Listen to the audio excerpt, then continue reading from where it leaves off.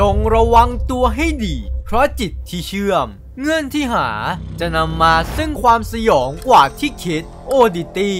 หุ่นเชื่อมจิตเรื่องราวของร่างทรงหญิงคนหนึ่ง ที่ตัดสินใจทำพิธีกรรมเชื่อมจิต ไปยังชายต้องขังลึกลับ เพื่อตามหาความจริง เกี่ยวกับการข้อตกอปริศนาที่เกิดขึ้นกับพี่สาวฝาแฝดของเธอ He took my sister's life.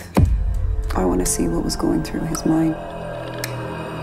นำไปสู่การเปิดเผยความจริงสุดช็อก และความสยองที่เธอไม่คาดคิดครับ เตรียมเปิดประสาทสัมผัสรับความสะพรึงจากทีมสร้างเวนอีวิลเลิกปีศาจลวงตาย เพราะจิตที่เชื่อมจะเผยความลับสุดสยองที่ซ่อนเร้นโอดิตี้หุ่นเชื่อมจิต 19 กันยายนนี้ในโรงภาพยนตร์ครับ